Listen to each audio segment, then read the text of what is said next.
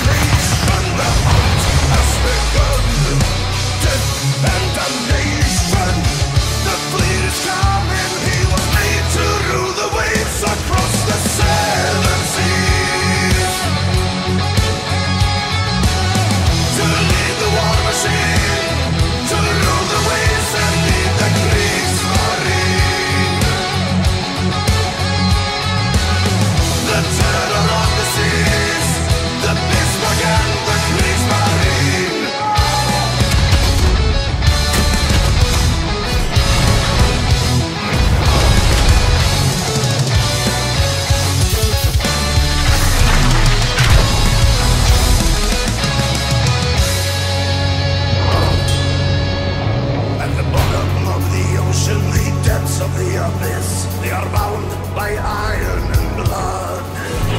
The flagship of the Navy, the terror on the seas, his guns have gone silent at last.